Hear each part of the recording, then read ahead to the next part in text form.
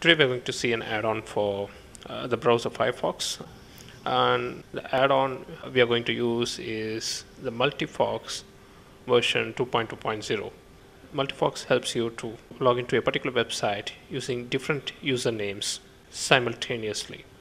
Uh, let's see an example. Say I have two Gmail accounts and I want to check the mails in both the accounts simultaneously. That is made possible using this little add-on Multifox. I've already installed this add-on to my browser. So let's see how it works.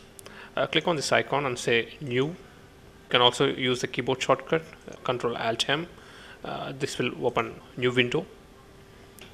Uh, let's go back to the previous window and log into my first Gmail account.